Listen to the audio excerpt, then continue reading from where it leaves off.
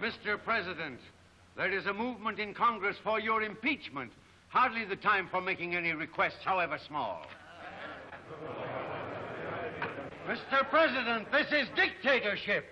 Senator Langham, words do not frighten me. But the United States of America is a democracy. We are not yet ready to give up the government of our fathers.